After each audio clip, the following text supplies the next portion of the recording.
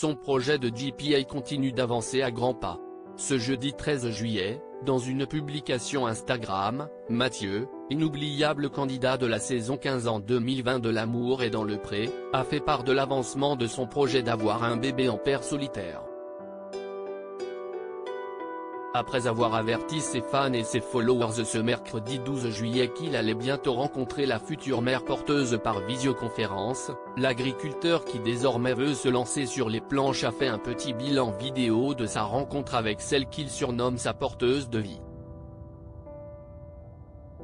Accompagné d'un tout petit chiot, l'ex-partenaire d'Alexandré a dressé le portrait de celle qui devrait porter son futur enfant, « Je profite d'être avec ce petit bébé,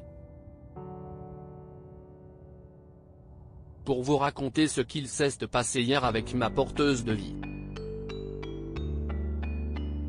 Je l'ai rencontrée, alors elle s'appelle Amé, ça s'écrit comme une âme, donc ça veut dire plein de choses, a-t-il d'abord expliqué, très touché par sa rencontre avec elle, avant de poursuivre, elle est super, on a eu un feeling de ouf.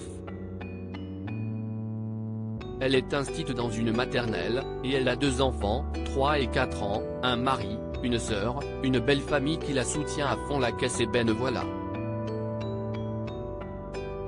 Ça va être parti pour cet été je vous en dirai plus après, je suis très content et merci à Am a-t-il conclu avec un grand sourire. L'amour est dans le pré, ces couples mythiques sont-ils toujours ensemble? Mathieu, l'amour est dans le pré, dans ce parcours, il peut compter sur le soutien de ses fans. En légende de la vidéo, l'ancien agriculteur, qui doit parfois affronter des critiques à la suite de son choix, a donné davantage de détails sur sa rencontre avec Amé, elle est juste merveilleuse, elle va devoir s'arrêter de travailler un an, je me suis engagé à lui reverser l'équivalent de son salaire. J'ai vu à travers ses yeux l'honneur et le bonheur qu'elle a de faire cela. Ce sont des femmes extraordinaires, remplies d'amour et d'empathie et qui font preuve d'un immense courage a-t-il écrit avant de la remercier personnellement.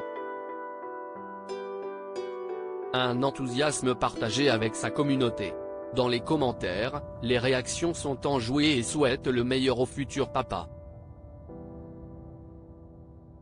De quoi lui donner encore plus d'ondes positives dans ce véritable parcours du combattant qu'il semble prêt à affronter envers et contre tout.